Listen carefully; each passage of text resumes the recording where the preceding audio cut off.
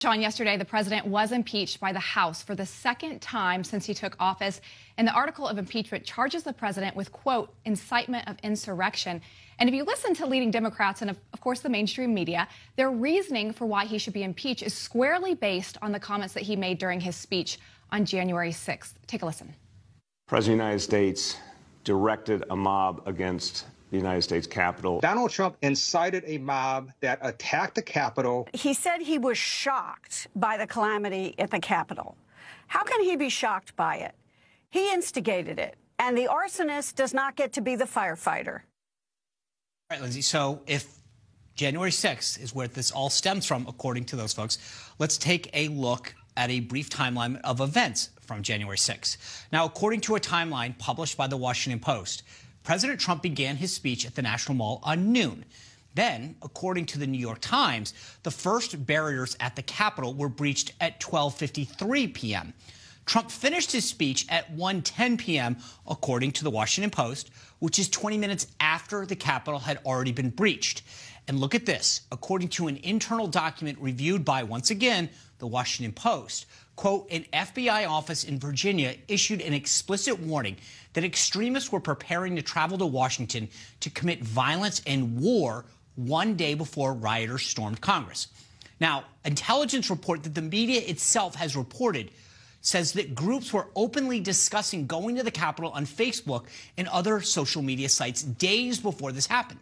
CNN is reporting that one Democratic member of Congress from New Jersey, Mikie Sherrill, is suggesting that Republican members of Congress were giving tours the night before this all happened as part of a, quote, reconnaissance mission for the rioters. A claim which, by the way, has not been verified. Another Democratic member of Congress has suggested that the Capitol Police were in on it. Again, unverified. But if any of these things are true, and remember, these are all things that Democrats and the media have said occurred. They all happened before the president's speech. Now, I'm no lawyer, but if any of these things happened before he spoke, then it seems tough to make the case that the speech, which happened after any of these instances, incited the rioting. Democrats may not like his speech, and it definitely caused concern among people of every political stripe. But it seems this case is weak. But because we rushed through it, no witnesses, no hearings, no due process. We never got to hear any of that. Yeah, that's such a good point, Sean.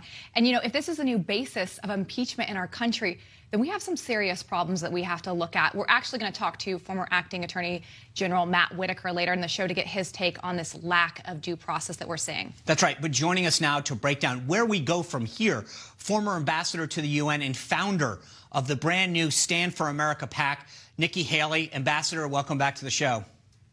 Great to be with you, Sean. Thank you. All right, lot to dive in here. Before we get to everything else, what is your reaction to what the House did yesterday?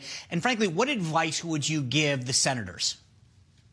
Well, I think right now everyone's being way too emotional. I mean, to have an impeachment on a president that's not even going to be there next week. I don't even know that that's constitutional. Right. But more than that, this is all a waste of energy. It's a waste of time.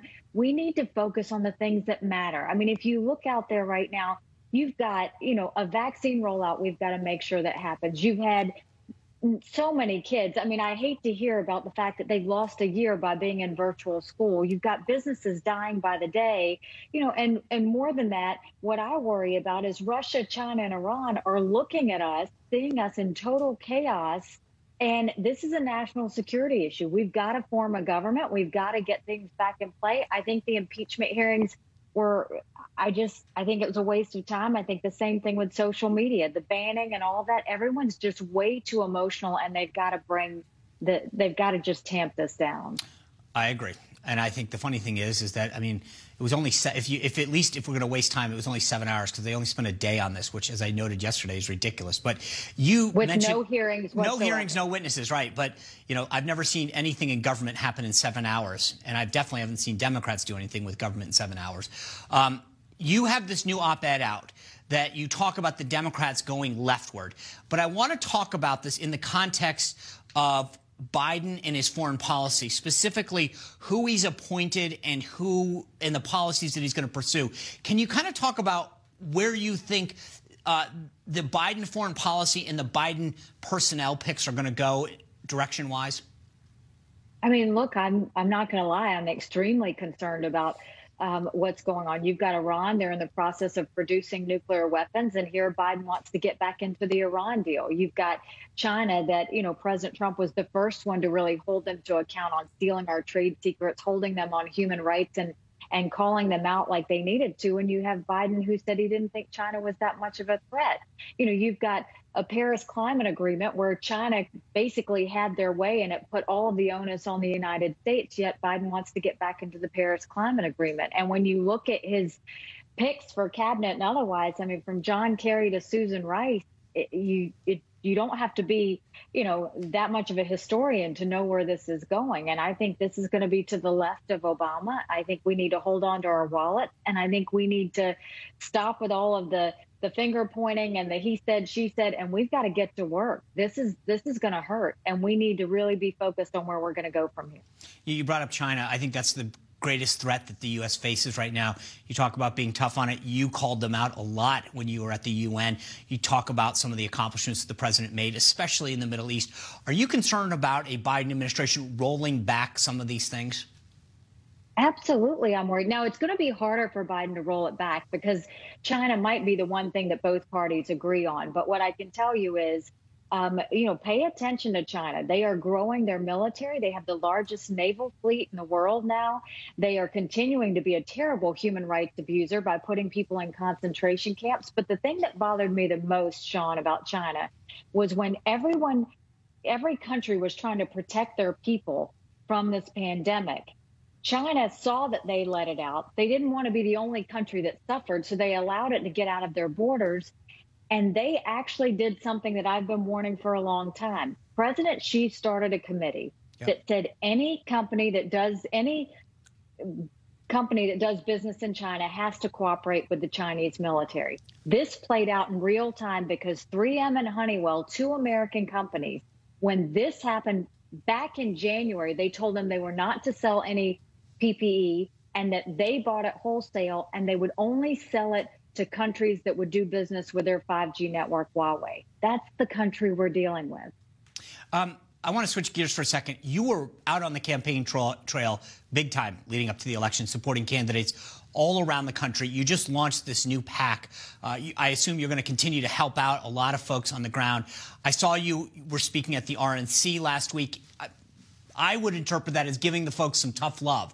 Where do you think the party goes from here? Because we've got not just a division in the country, but I think, frankly, a division in the Republican Party.